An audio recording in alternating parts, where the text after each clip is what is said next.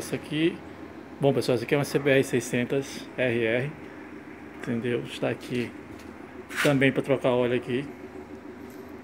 Vou usar também o óleo motor nela e também vai ser trocado a água do arrefecimento, que é essa que é a entrada do radiador, né? O radiador está aqui na frente e a entrada do radiador é por aqui. Então vai ter que desgotar do outro lado as mangueiras para arrefecimento para também trocar água, colocar o aditivo novo. E de praxe trocar óleo, o filtro de óleo está ali embaixo. Aqui, o reservatório de expansão dela é aqui. Tem um nível lá, o máximo e o mínimo. Ali é o filtro de óleo. E aqui é a tampa de enchimento do óleo. Né? E aquele parafuso lá do motor, o parafuso lá é onde esgota o óleo. Entendeu? Vai ser trocado o óleo também. Aí nós tivemos que tirar as duas carenagens. Duas carenagens laterais. Para ter acesso aqui também às mangueiras onde liga na bomba d'água, que essa aqui é a bomba d'água dela. Essa aqui é a ligação da bomba d'água. A gente vai ter que abrir as mangueiras para poder drenar e voltar toda a água do, do sistema e colocar aditivo novo.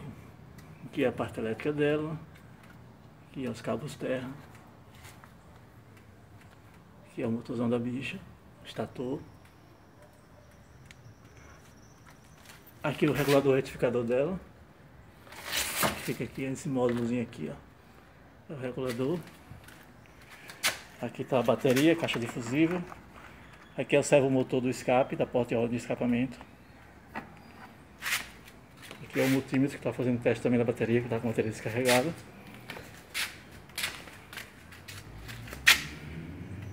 Essa é a CBR 600. Brinquedinho de gente grande.